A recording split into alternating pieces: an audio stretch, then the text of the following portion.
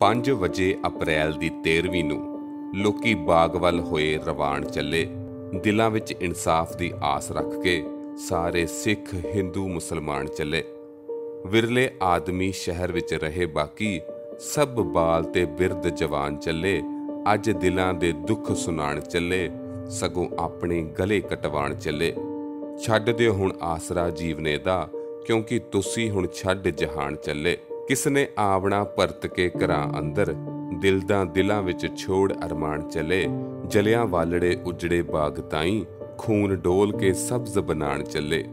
ਅੱਜ ਹੋਈ ਕੇ ਸਭ ਪਤੰਗ ਇਕੱਠੇ, ਉੱਪਰ ਸ਼ਮਾ ਸਰੀਰ ਜਲਾਨ ਚੱਲੇ। ਹਾਂ ਹਾਂ, ਜੀਵਨੇ ਤੋਂ ਡਾਢੇ ਤੰਗ ਆ ਕੇ ਰੂਠੀ ਮੌਤ ਨੂੰ ਆਪ ਮਨਾਣ ਚੱਲੇ।